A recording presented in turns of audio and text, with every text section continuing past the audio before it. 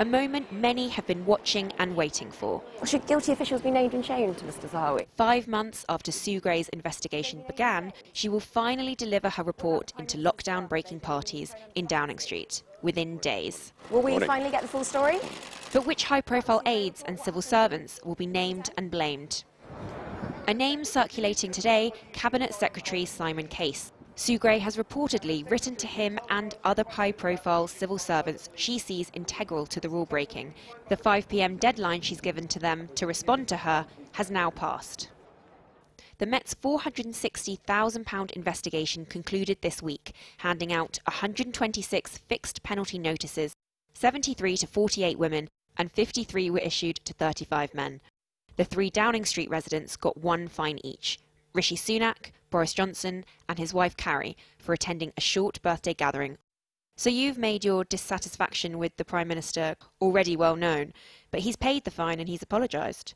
I think there would be a fine and unpleasant irony in the publication of the report if Mr. Johnson were effectively to have a get out of jail card, while around him senior civil servants were taking the rap for matters that ultimately must have been his responsibility because ultimately he is the man in charge of number 10 Downing Street.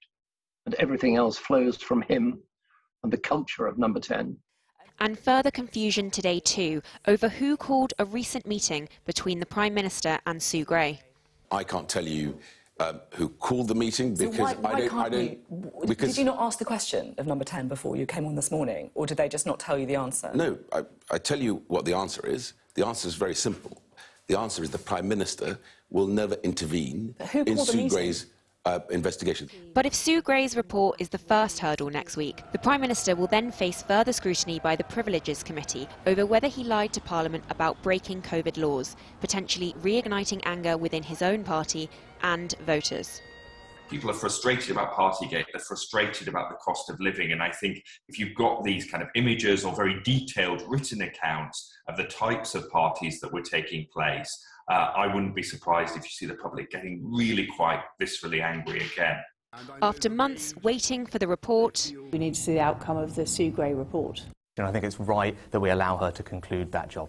We must wait for the outcome of the, of the inquiry. It seems Boris Johnson's Partygate hangover might have several more days to run.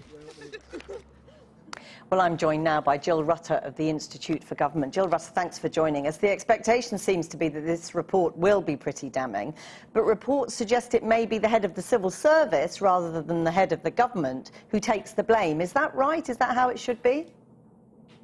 We don't know yet because we don't know what Sue Gray says. The question she's supposed to be answering is how did this culture of partying take hold, of ignoring the lockdown restrictions, and to what extent was it the civil service that failed? To what extent were those judgment failures she called out in her earlier report? To what extent were ministers responsible? I mean, the question of civil servants, I wonder what you're hearing about how they feel this has been handled, because there have been those reports that actually some of the younger staff, many women, came forward, fessed up, if you like, and other more seasoned staffers seem to have managed to avoid scrutiny. I wonder what you're hearing on that. I think there's bafflement actually at the approach that the Metropolitan Police have taken, that it does seem that they didn't, as far as I can see, do that much of an investigation. If it was a slam dunk that someone had already said they were at a party, then they got a fine. And if they didn't, then the Met doesn't seem to have probed very hard. But it's very difficult because it's been so untransparent about what criteria they have used for saying these people have been fined for this event, yet other people who appear to have been at the same event haven't. So do you anticipate the Sue Gray report to be both more transparent and, in your view, more rigorous? Well, let's hope so, because I think that's what we need now, because the Met really hasn't cleared anything up very much. So I think people now are looking to Sue Gray. Uh, she was pretty damning in that report that she produced at the end of January, the anonymised report. Um, so let's hope that what she really sheds light on is who exactly should we be taking to task for the fact that number 10 and the cabinet office seem to veer off on this track where they were repeatedly breaking lockdown rules. We now know that there was law breaking, so that's been established. That's about all the Met have really established. But the why did people think that they were immune from the rules that they created? That's really what Sue Gray's got to answer. And if she fails to answer it, then uh, you know we'll be back in a week's time, still all pretty mystified as to what went on.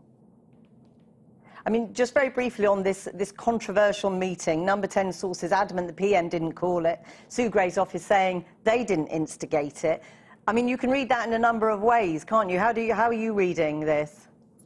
Well, I think it's just underlining that it's always been a deeply unsatisfactory position. The civil service, and Sue Gray is a civil servant, however much we sort of build up her personal integrity and independence, works for the government of the day. What I do find quite implausible are all these assertions that no one quite knows how this meeting materialised. It's pretty obvious if you work in a minister's private office who summons a meeting. Either Sue Gray asks for it or the Prime Minister asks to see Sue Gray. Those are the two things that happen. So it's bizarre that somebody can't Jill. answer that and put it straight.